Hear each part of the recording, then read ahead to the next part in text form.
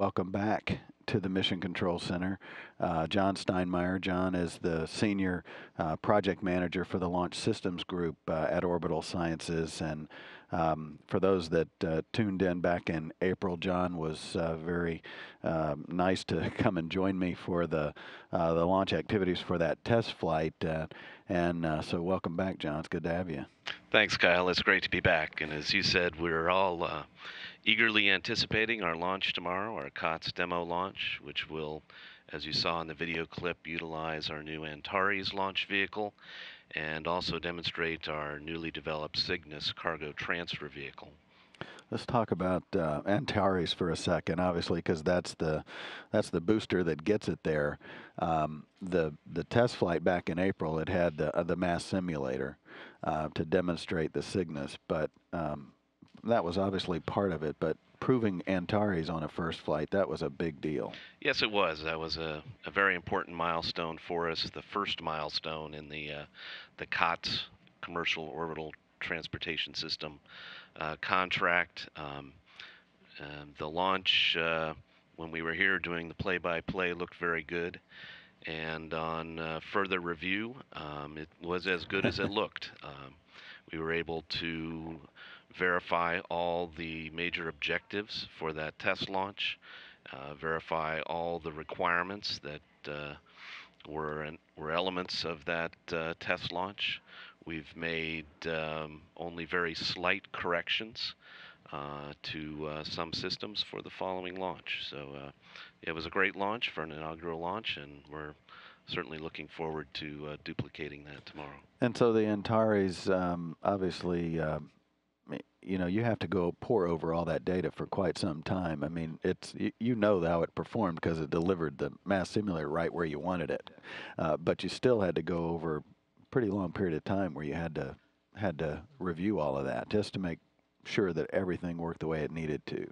Yeah, it's been a busy five months uh, going over the post-flight data in uh, in thorough detail. Um, um, a series of uh, post-flight reviews, um, including outside experts who reviewed that data with us and verified that yes, indeed, we verified uh, all the objectives. Right. Uh, in addition, uh, during these past five months, we've had two other very important launches for NASA. Uh, we were able to uh, launch the IRIS mission on our Pegasus launch vehicle in in June, and then just uh, a week ago Friday, we launched the the LADEE mission for uh, NASA on our Minotaur 5 launch vehicle.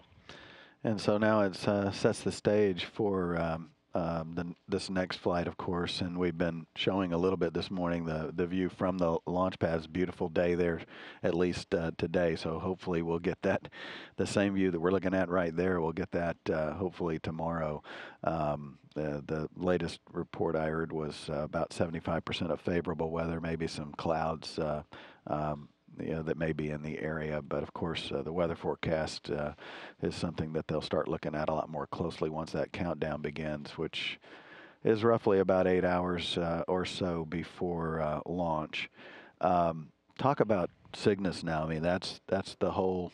Um, reason for the Antares is to deliver that, and and uh, it's been a long time coming, five or six years in the in the making for this. Been, you're right. It's been about five years in development, uh, both for the launch vehicle and the, the Cygnus system.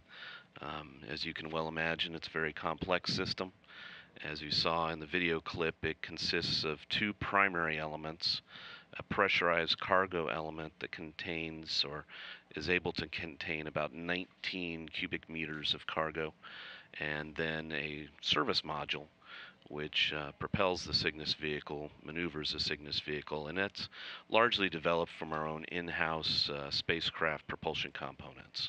Yeah, so there's, you know, it's like historical components that are proven um, that you guys have been yeah, working correct. on and, and evolving into what we're going to see with, with Cygnus and this delivery to the station. And Cygnus is going to rendezvous flying. We'll perform a number of steps on the way to the station to uh, uh, to prove it as a, a, rendezvous vehicle as well.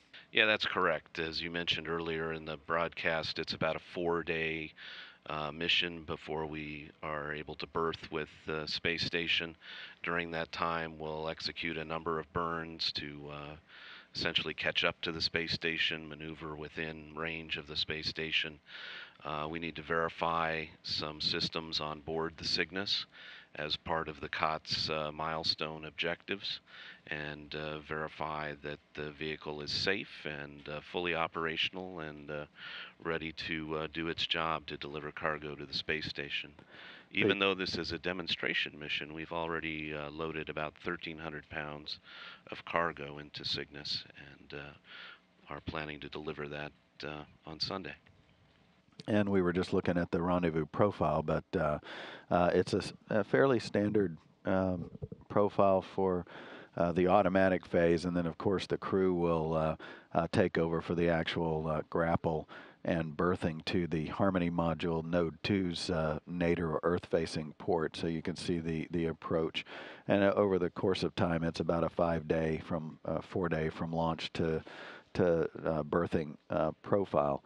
Um, and then a Cygnus, of course, will stay for about a month or so uh, at the station before it heads home, and obviously it will uh, take trash, unneeded items away from the station that, uh, and then it'll burn up in the atmosphere. Yeah, that's the idea. Um, as you mentioned, it'll be berthed for about a month and allow the crew to transfer whatever unneeded elements uh, that they have, and uh, once uh, the Cygnus is complete or has done its job, it will will uh, return to, to through the atmosphere and uh, and dispose of the trash uh, effectively.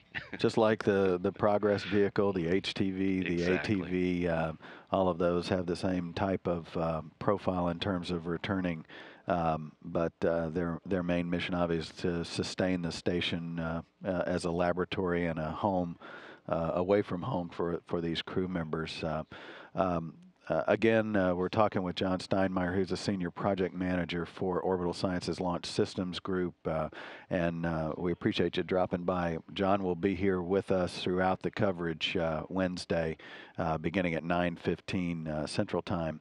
10:15 Eastern, and on console here in the room, overseeing this team will be Courtenay McMillan. She'll be the flight director. She's followed this along with a uh, a whole host of uh, uh, folks from Orbital, NASA, and um, uh, even the Japanese Aerospace Exploration Agency.